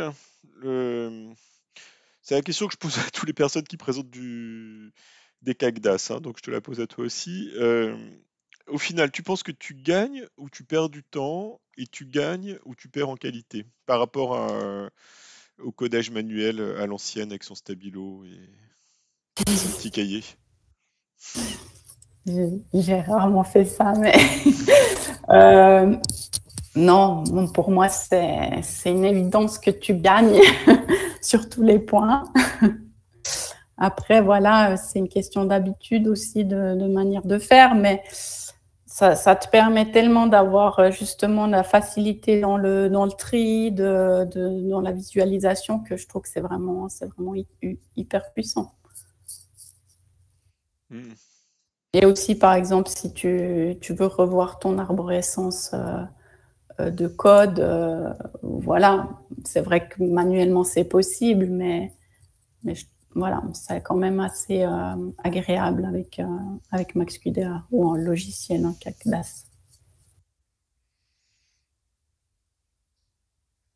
Est-ce que quoi, le souvenir que j'avais d'Envivo, c'est qu'on passait quand même beaucoup beaucoup de temps en manipulation de fichiers, de pour pouvoir coder, etc. Quoi. Je trouvais qu'on y passait beaucoup beaucoup de temps pour sélectionner le code, par exemple. Mais euh, j'ai pas mmh. bien vu comment tu faisais. Mais toi, quand je sélectionnais euh, le morceau de texte et de choisir le code parmi euh, ah, ouais. je trouvais qu'on y passait beaucoup. Quoi. Ok. Peut-être impatient comme garçon, mais je trouvais que c'était fait. Mmh. je... Ah, ça, dépend effectivement de ta liste des codes. Hein. Si tu en as une énorme, mais après, bah, si tu la structures, c'est vrai que ça peut déjà être utile. Après, ben, c'est vrai que des fois, on ne travaille pas forcément sur des codes qu'on a créés nous, donc on ne sait plus sont comment ils sont structurés, mais tu pourrais très bien avoir euh, ton arborescence sur un document aussi à côté, papier, sur lequel tu pourrais aussi euh, avoir une vision un petit peu rapide et, rechercher à ce moment-là, je pense que tu peux aussi rechercher ici, par exemple, avec cette loupe, euh, ici. Euh, donc, si tu sais le nom de ton code, euh, tu peux ici, je pense, le rechercher. Des filles, imaginons. Voilà. Donc, ça te le sélectionne. Et donc, si je veux coder ça avec ce code. Donc, après, pour la sélection, je trouve que ça va, ça va très bien. Euh, faut juste faire attention justement pas qu'il ait l'impression que c'est une image. Donc par exemple là, si c'est en jaune, euh, il n'a pas reconnu le texte, il va coder ça comme une image. Donc c'est pas ce que tu veux. Euh, tu vas plutôt faire comme ça. Et là, pour coder, ben, c'est vraiment le glisser dessus. Donc ça, c'est vraiment facile. Ouais, ça fonctionne bien. Ça fonctionne bien.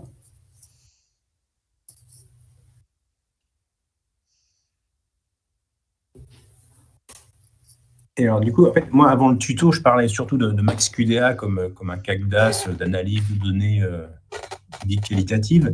Euh, le, module euh, analyse statistique, il, est, il permet un peu d'aller jusqu'où? Tu l'utilises toi ou enfin, voilà, Est-ce que tu l'utilises? Est -ce que Et qu'est-ce qu'on peut faire comme traitement statistique en cas de, de données issues de, méthodes mixtes?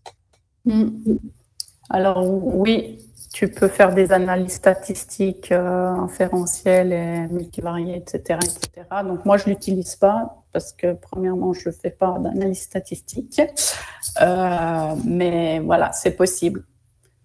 Effectivement, euh, oui, ça offre, tu peux importer des données de SPSS par exemple, ou bien les exporter pour faire des analyses aussi sur SPSS. Donc il y a vraiment aussi une possibilité de travailler euh, avec d'autres euh, en, enfin en, parallèle avec d'autres logiciels. Alors là, j'ai plus une question un peu de, curiosité.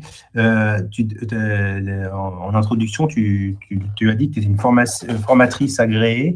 Mhm. C'est-à-dire que ça te, en fait, ça, te permet quoi de, d'être dans un, référencé comme formatrice officielle MaxQDA ou c'est euh, Oui, c'est ça.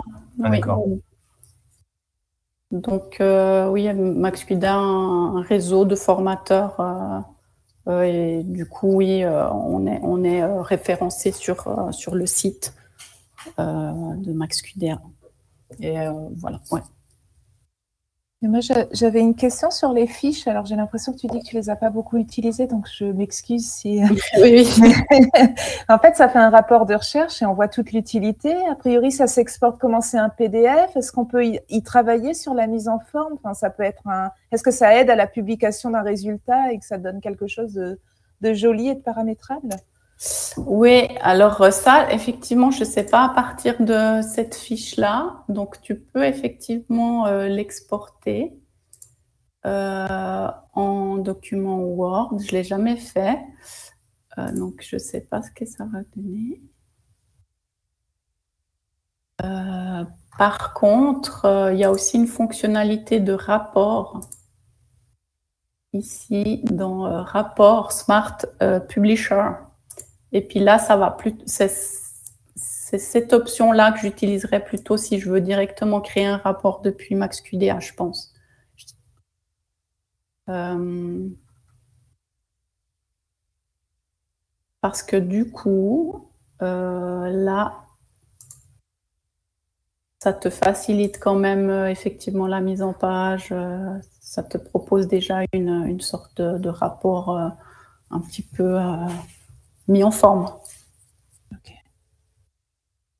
Mais pour la fiche à voir, ouais, je suis, curieuse aussi. je pense qu'il doit y avoir plein de. J'ai l'impression, hein, vu l'interface, qu'il doit y avoir des, possibilités euh, de mise en forme sympatoche. Mm-hmm. Après, voilà, tu, peux aussi exporter tes, images, tes visualisations et puis les, intégrer au rapport, par exemple. Donc, c'est vrai que tous les éléments peuvent être exportés d'une façon ou d'une autre. Donc, ça, c'est assez, euh, assez bien. Ok, merci.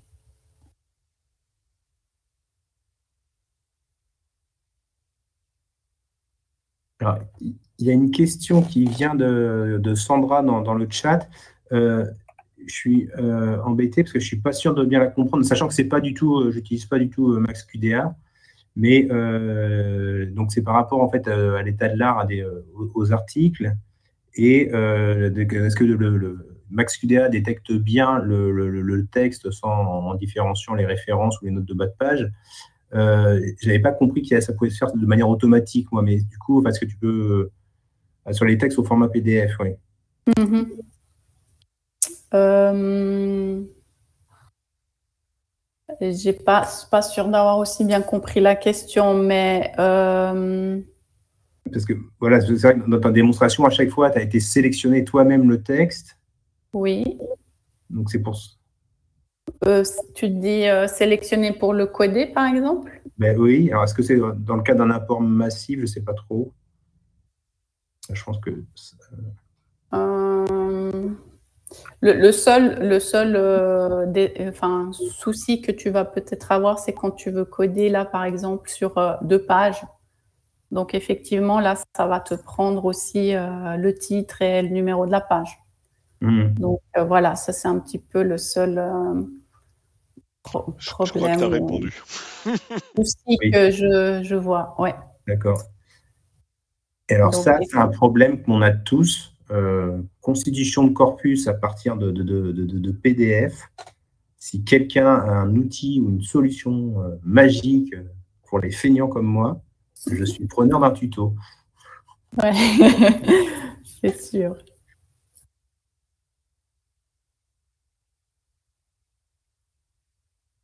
Donc oui, je pense que c'est aussi en fonction des articles. Il y en a qui sont mis en forme euh, des fois de, façon un petit peu euh, différente et ça peut être euh, moins évident après. Pour, voilà, par exemple, typiquement ce type de, de document. Donc il n'y aura pas de souci quand on code comme ça. Mais par contre, c'est vrai qu'on n'a plus cette notion de, du code qui se rapporte vraiment à ce segment-là, vu qu'il y a encore celui-là à côté, mais qui n'est pas codé. Donc voilà, ça peut un petit peu, euh, on va dire, ça pourrait avoir des conséquences si on utilise par exemple un outil de visualisation qui se rapporte par exemple à euh, carte de documents, sauf erreur. Sélectionner euh, des documents. Les juges, je veux bien que tu nous montres après comment tu codes la troisième colonne. Hein. Ce que ça donne quand tu fais la troisième colonne. Oui. euh, J'étais sur quoi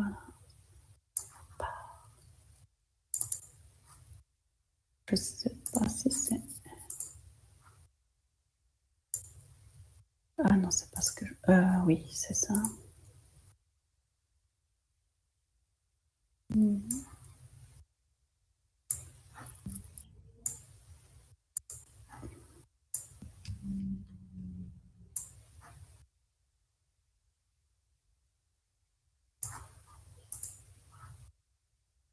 Hmm.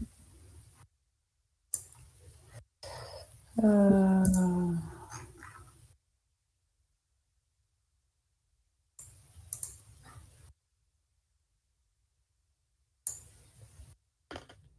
Non, c'est pas pas ce que je voulais faire en fait. Euh, c'était celui-là en fait.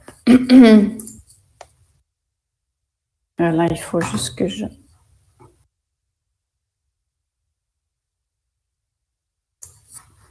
J'active les codes. Et portrait de document. Voilà.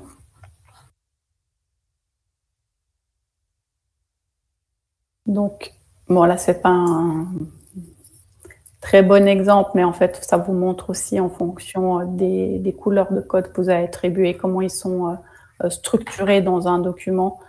Euh, bon, voilà, si vous analysez des entretiens, que vous avez utilisé des codes couleurs pour euh, certains, certaines thématiques, ça peut être intéressant d'avoir cette vue d'ensemble pour voir, bah, OK, euh, à quel moment les participants ont parlé de tel ou tel sujet, c'est plutôt au début, plutôt en relation avec un autre. Ça peut donner une indication, mais comme je disais, peut-être que là, sur les PDF, ça peut poser problème justement qu'ils soient un peu superposés. Et du coup, la question, c'était comment ça se passe si je code ça. Donc, on va voir tout de suite. Donc, voilà, ça se rajoute à côté, en fait, tout simplement. Donc ce sera tout à la même hauteur. C'est un peu dégoûtant. Et j'ai plus le moyen de voir ce que j'ai codé en abstract. quoi. Il n'y a même pas une couleur ou quelque chose. quoi. Ah si, quand tu cliques sur abstract, c'est ça qui devient. Oui, ouais, c'est ça. Il faut cliquer dessus. Donc ça le, ça le met en exergue comme ça. Hmm. Après, euh, c'est la même chose quand vous avez des codes qui se, se chevauchent. Hein. donc euh, là, vous voyez euh, un code qui prend vraiment l'ensemble. Enfin, là, vous pouvez passer de l'un à l'autre, mais c'est clair quand il y a des chevauchements aussi, c'est ça s'affiche comme ça. Oui, mais là, c'est pas gênant pour le coup, parce que c'est un chevauchement, quoi. Mm. Mm. Au contraire, on voit bien le chevauchement, ça j'aime bien, mais cette mm. représentation. C'est juste un peu dur de savoir qu'est-ce qui est expertise expérientielle, qu'est-ce qui est savoir expérientiel, quoi. À quelle euh, accolade correspond quel texte, quoi. C'est ça, voilà. Ouais. détail que j'ai comme problème.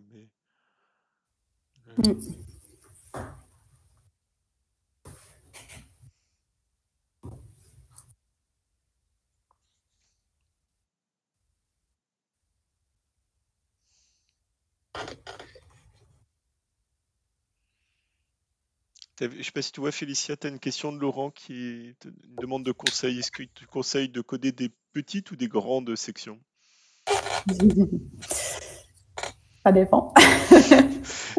Alors, en fait, tu n'avais pas le droit à cette réponse. ça, ça dépend pourquoi, ça dépend. Je ça, ça dépend vraiment de la question de recherche. Ça dépend, est-ce que tu as besoin de beaucoup de contexte euh, Après, euh, tu peux toujours euh, restreindre ou bien ragrandir. Donc, choisir, enfin, adapter l'unité d'analyse en, cours de route. c'est un, une question voilà, qu'on se pose tous. Hein. Est-ce que je, j'utilise, est-ce que je mets euh, trois codes à ce segment? Est-ce que j'en mets qu'un? Donc voilà, on est toujours dans un, processus, euh, je pense, euh, entre ben, créer des unités assez petites, mais après leur donner un sens un petit peu plus général. Donc il faut, faut jouer avec les, différentes fonctionnalités aussi de MaxQDA pour ça, je pense. Vous pouvez créer beaucoup de codes au départ et puis ensuite ben, les, les fusionner par exemple. Euh, quand, si vous voyez que finalement les, ça se rapporte au même concept ou à la même idée. Donc euh, voilà, il n'y a pas. C'est pas figé. en tout cas, c'était l'une des choses que je reprochais euh, à NVivo, mais en tant que CAGDA, c'est que pour des gens qui ont une petite névrose obsessionnelle, mais rien de grave, hein, ça peut quand même, comme le coût du recodage est beaucoup moins coûteux que quand on le faisait à la main, euh, ça peut inciter à ne jamais sortir du codage de sa vie. Mmh. Euh, et c'est ça que je trouve. C'est l'une des choses dans la perte de temps, en quelque sorte, euh, que j'avais trouvé, c'est que il est quand même difficile. Il y a un moment, quoi, j'ai pas toujours trouvé le moment où il fallait arrêter, où je, mmh où je savais quoi arrêter. C'est vrai que. Ouais. Oui, oui, je, je comprends.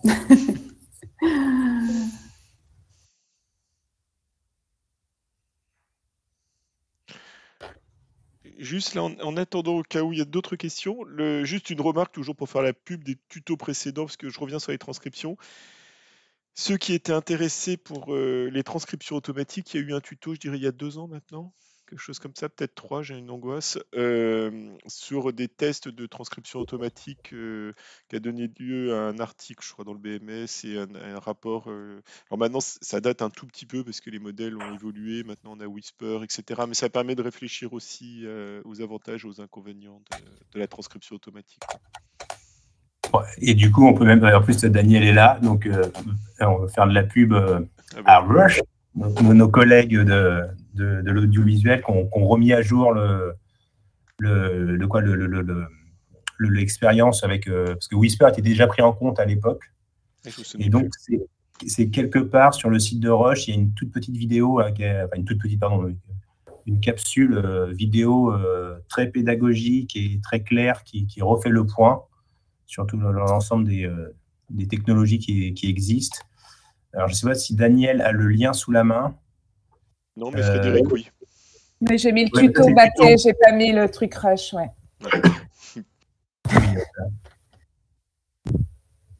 Et ça date, hein C'était le tuto 24. Vous avez vu comment on part toujours en avance hein, sur. Euh, mais non, mais moi j'ai plus euh, beaucoup de, questions, si ce n'est une, alors qui est euh, du coup qui n'est pas sur Max QDA, qui est, qui adressée un peu peut-être à, Félicia, mais aussi un peu à tout le monde. C'est on, a vu des, solutions libres. Enfin, je pense à RQDA qui avait essayé de, mettre en place des, à peu près des équivalents de, de Cagdas gratuits. Quand on voit la, présentation de MaxQDA, on comprend bien tout le travail qu'il y a à faire derrière et que ce n'est pas un petit logiciel facile à développer.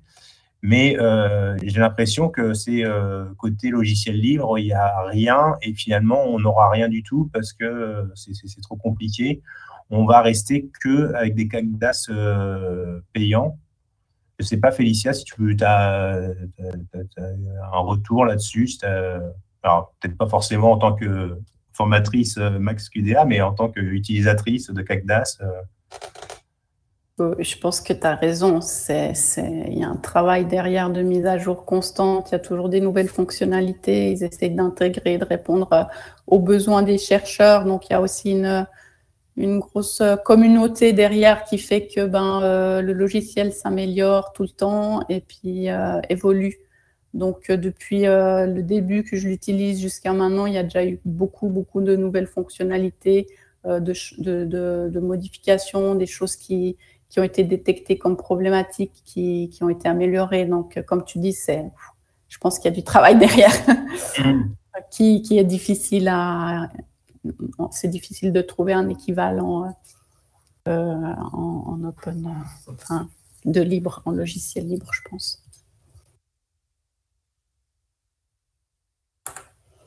Et vous avez aussi bah voilà, le, support euh, derrière, quand même, en cas de vraiment souci. Donc, il y a un support qui répond euh, assez rapidement aussi. Donc, c'est agréable. Ah, en, plus, c'est vrai qu'on t'a laissé euh, faire une démonstration, enfin, on t'a laissé, tu, nous as fait une démonstration en live, hein, en prenant tous les risques que ça peut occasionner.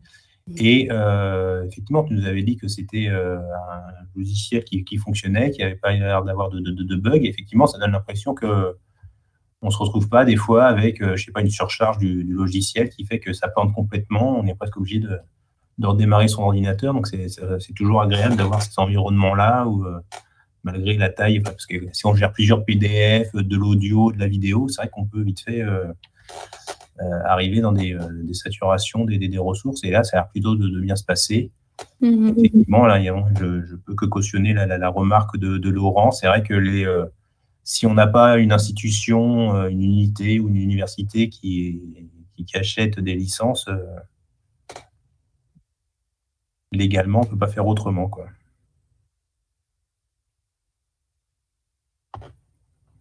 Et en termes de licence, c'est des licences annuelles ou c'est des licences euh, à vie? Il y a les deux. D'accord. Il y a les deux. il y a un tarif chercheur?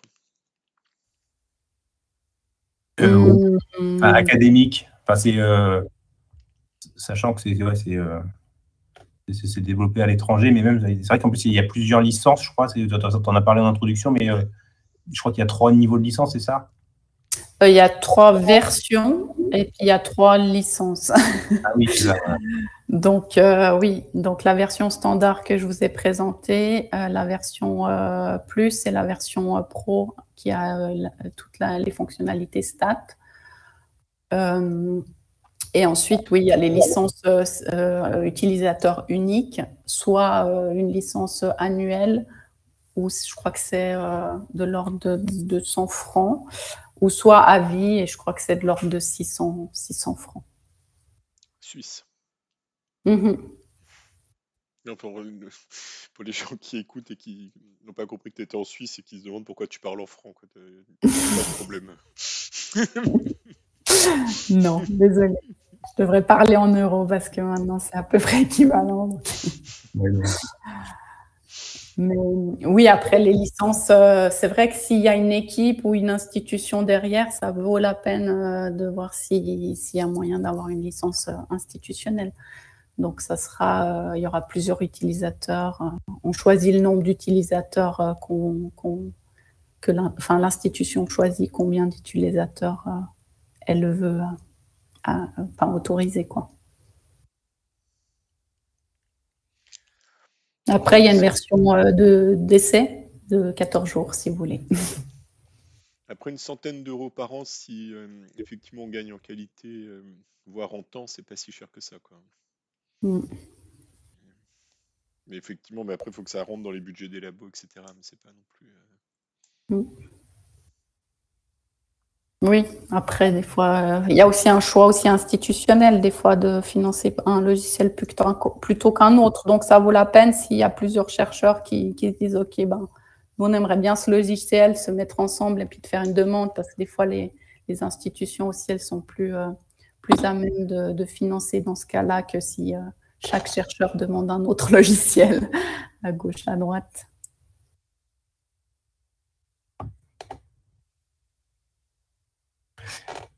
Écoutez, ben, s'il y a des questions ou des, euh, même des retours euh, d'expérience utilisateurs, hein, euh, c'est le moment avant qu'il nous reste encore un tout petit peu de temps. Alors, il ah, apparemment, on n'arrive pas sur la, vidéo Whisper. Ben, on va la retrouver. Je vais, la chercher, je vais la mettre, parce qu'en général, ce qu'on ajoute à la mise en ligne des tutos, c'est vos questions et les différentes remarques qui ont été posées dans le chat. Et donc, Promis, Thibaut, je cherche ça et je mets le bon lien avec la mise en ligne du tuto. C'est la, capsule Roche, en fait. Ouais, oui, je vais la chercher.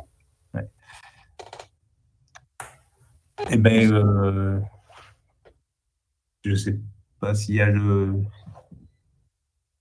Il n'y a pas de, questions qui remontent. Donc, bah, euh, Félicia, on va te remercier euh, d'avoir pris le, temps d'organiser euh, et de, nous présenter euh, Max QDA. ça nous a permis d'avoir un, vraiment un panorama de, de, l'ensemble de, de, QDA, du logiciel, de ce qu'on pouvait faire et jusqu'où on, pouvait aller. même, on voit bien qu'on peut aller encore plus loin, mais en tout cas, voilà, on a une vue très claire maintenant de, ce logiciel. Donc, merci beaucoup à toi d'être intervenu dans ce tuto.